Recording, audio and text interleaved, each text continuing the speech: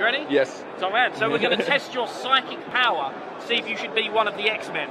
Uh, to do this, I have a little bag here, inside of which is a handful of badges. Uh, so we'll come back to those in a moment. Each one has a different shape on it there. And I've also got a deck of cards that have the same symbols repeated over and over inside the deck, like an ESP deck of cards. What we're going to do is I'm going to give the cards a little mix up like this, and then we're going to deal out a little row of five cards, and you're going to choose any one of the symbols that you like. Uh, in fact, to make it even fairer, I'll do it with the cards face down. So you get one, two, three, four, five. You're going to get to choose one, and then have a peek at it like this, but don't show me, and just leave it on the table. So let me uh, swap that one around so you've got a free choice. Any one that you like, Sean.